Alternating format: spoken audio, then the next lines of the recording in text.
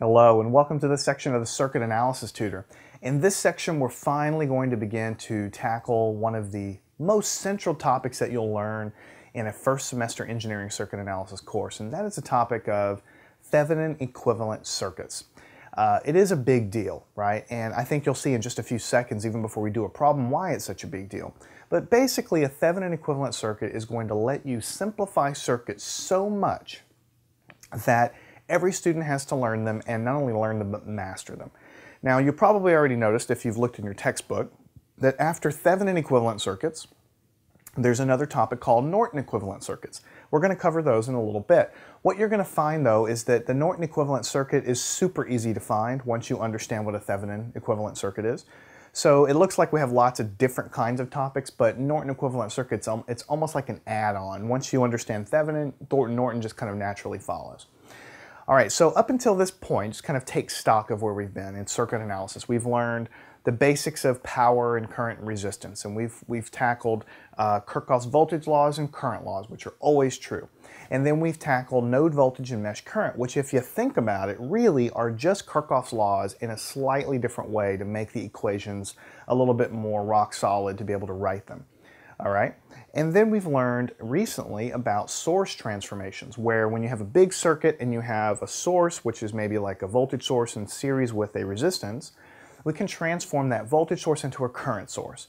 Or if we already have a current source, you can transform the current source into a voltage source. So there's kind of a duality, right? We learned how to flip-flop back and forth between current sources and voltage sources. Right, and so those source transformations that we did recently we're really just zooming in to the you know, left-hand side of the circuit usually, where the source lies. The Thevenin equivalent circuit is much more general, and I'm going to say it a couple of times, and I'm going to draw it on the board to show you. A Thevenin equivalent circuit lets you take your entire circuit that you have and basically model it as a voltage source and a resistance, right? Not just a part of the circuit, not just the part that deals with the source. I'm saying the whole enchilada right? Let me show you what I'm talking about. Let's just say that I have a circuit. Now, I'm not going to draw a circuit. I'm writing the word circuit here because I'm going to put it inside of a black box. Now, you don't know what's in here.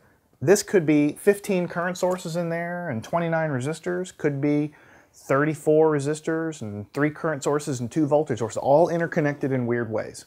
Okay? But the only thing you know is that coming on the outside of this box is two little holes.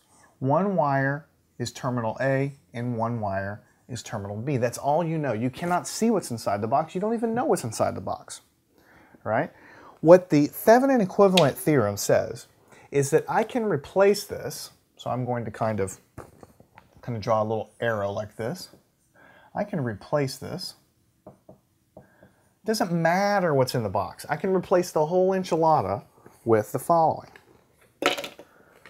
With a voltage source that I call the Thevenin voltage source, VTH, the Thevenin source. It's just a voltage source in series with a Thevenin resistance.